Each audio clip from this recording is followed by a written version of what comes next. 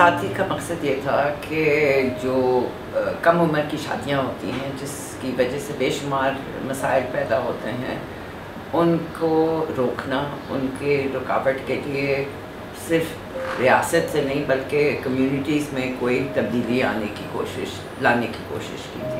हमारा जो रिसर्च था, उसका बेसिक मकसद हमारे प्रोजेक्ट का ये था कि हम लोग लड़कियों को एम्पावर करें, कि वो ख़ुद अपने आप एडवोकेट्स बने। हमारी प्रोजेक्ट की कामयाबी सिर्फ़ इस चीज़ में नहीं है कि कितने लोगों ने शादियाँ रोकी या अपने लिए रुकवाई कामयाबी इसलिए भी है क्योंकि लोगों ने और लड़के लड़कियों ने अपने आप के लिए बोलना शुरू कर दिया पर्टिकुलरली लड़कियों ने। एज ए लीडर होने की हैसियत से जो यहाँ से तालीम लेके जाते हैं वो दूसरों तक पहुँचाते हैं। कतरा कतरा मिल के दरिया बनता है। दो अपने इलाके को भी चलाना है अपने कॉलेज को भी चलाना है। मेरी ना बचपन में रिश्ता तय हो गया था मेरी चाचा की बेटी के साथ। मैं क्लास सिक्स में थी और वो तकरीबन थर्टी टू साल का हो थी। एक दिन ये नीलम और किशोर स्कूल आ गई हमारी। जब हम स्कूल में ये बातें कर रही थी तो इन्होंने कहा कि हमारी सेंटर है एक, उसमें आ जाओ फिर हमें ट्रेनिंग देती है लोगों को तो तुम भी ट्रेनिंग लो। जब मैं सेंटर गई तो मैंने वहाँ कमुमरी की शादी के हवाले से ट्रेनिंग लिया। मैं तो बहुत शर्माती थी, अपनी अम्मी अबू से कुछ बात भी नहीं कर सकती थी। लेकिन फिर भी एक दिन मैंने अपनी अम्मी से कहा कि ऐसे एक सेंटर है और उस, उसे हमें बताया गया है कि कमुमरी की शादी क्या है, इसके नुकसान हमें बताया गया है। हमारी अम्मी के साथ उन्होंने ट्रेनिंग लिया। अम्मी ने ज़ोर डाला और हमारे अबू को राज़ी कर लिया और हमारी रिश्ता टूट गया वो लोग तैयार अमूमन वालदेन नहीं होते, इस पर बात भी इतना नहीं करते। लेकिन चूँकि हमारा इस प्रोजेक्ट में मकसद ये था कि हम उनको बार बार इंगेज कर रहे थे, उनको सेंसिटाइज कर रहे थे। जिस तरह कम उम्री की शादी पे जब हमने बात शुरू की तो लोग मज़हब को दरमियान में ला देते हैं कल्चर को ला देते हैं कि ये कल्चर का हिस्सा है, मज़हब का हिस्सा है। लेकिन हमारी कोशिश ये थी कि उनको कानून के ज़रिए और सेहत के ज़रिए ये बता सके कि कम उम्री के जो शादी होती है, उनका एक मतलब एक लड़की की ज़िंदगी पे उसका क्या असर होता है? ख्वा समाजी तौर पे अगर हम देखें तो ये एक बड़ा समाजी मसला है, जिसके साथ और भी हकूक़ जो है वो जुड़े हुए हैं। इसका दूसरा जो पहलू है, वो ये है कि जो एक आप ख़ानदानों के ज़रिए एक सोशल नेटवर्क बनाते हैं, कि वो आपके पाकिस्तान जैसे हालाँकि हम इक्कीसवीं सदी में रह रहे हैं लेकिन आपके रियासत के जो इदारे हैं वो नहीं कामयाब हैं। अगर मुझे कोई मसला मसाइल है मैं पहले रियासत के इदारों में नहीं जाती हूँ मैं जाती हूँ अपने ख़ानदान वालों के। कि ख़ानदान आपका एक मेन जो फोर्स बनता है सोशल कैपिटल जिसको अंग्रेज़ी में कहते हैं वो आपका ख़ानदान बनता तो उस सूरत में शादियाँ जो हैं वो एक ज़रिया बनते हैं अपने नेटवर्क्स को मज़बूत करने लेकिन जो कहानियाँ आई हैं वो इतनी पेचीदा हैं तो ये बट्टा सट्टा और ये सारे जो समझौते हैं, ये बहुत एक अहम हमारे माशरे का ज़िंदगी गुजारने का हिस्सा है। तो वो बदलना जो है ना, वो मुश्किल है। इसका जो मेन टारगेट है वो लड़कियाँ हैं क्योंकि हम ज़्यादातर जो वाक़ात होते हैं उसमें लड़कियों की उम्र जो है ना वो 10, 12, 8 और पंद्रह साल की उम्र में उनकी शादियाँ हो जाए और आठ साल की शादी उनकी ऐसी होती है वहाँ पे हमारा एक कल्चर है स्वरा जिसको कहते हैं।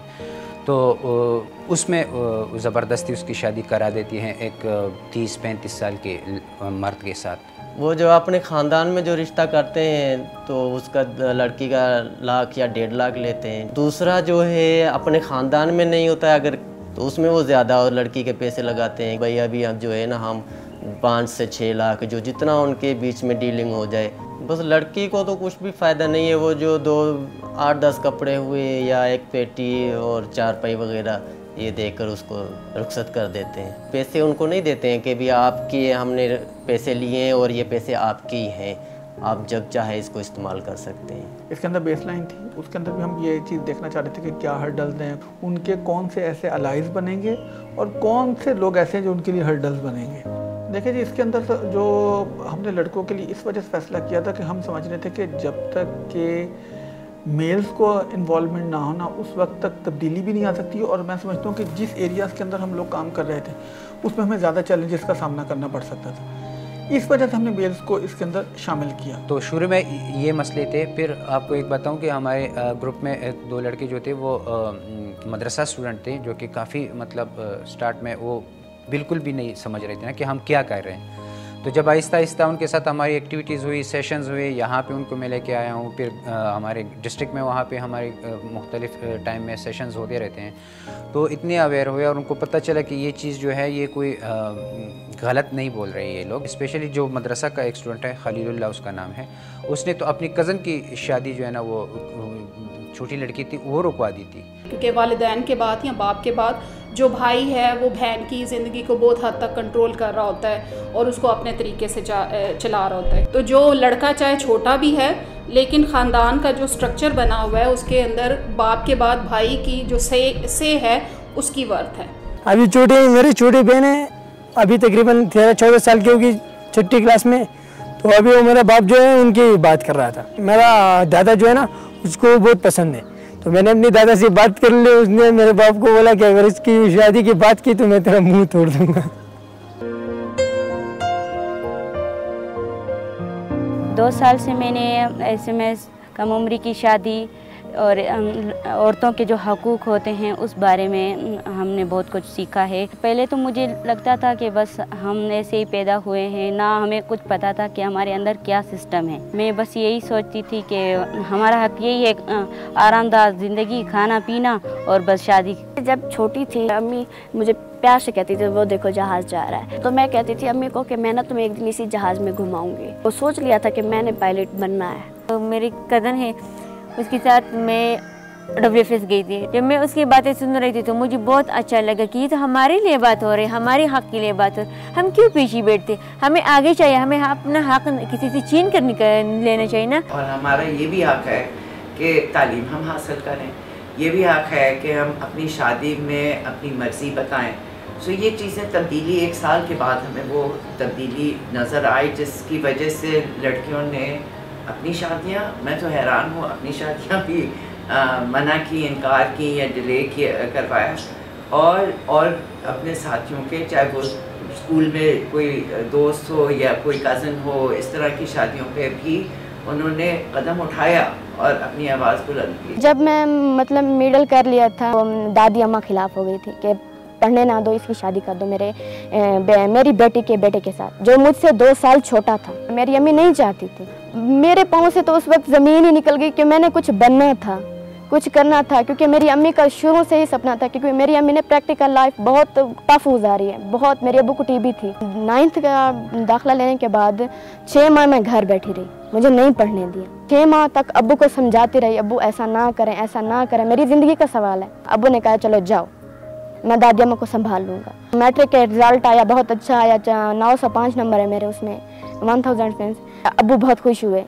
अबू ने कहा जिस तरह तूने लड़ाई झगड़ा करके पढ़ा है उसी तरह इसको कंटिन्यू रख। अभी दादी अम्मा खिलाफ हैं अभी तक।